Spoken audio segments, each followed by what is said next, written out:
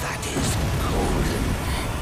And one day, we'll return together to our home